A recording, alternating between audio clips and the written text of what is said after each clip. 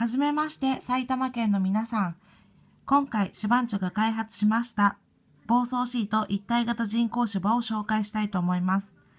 まず、暴走シートとは名前の通り雑草などを生えてこないようにするためのものです。暴走シートを敷かないと人工芝にあるこの水はけ用の穴からですね、このように雑草などが生えてきてしまいます。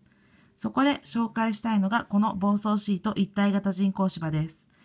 暴走シートと人工芝が一緒になることで、暴走シートを敷くのがめんどくさいなと思う方にはもってこいの商品となりました。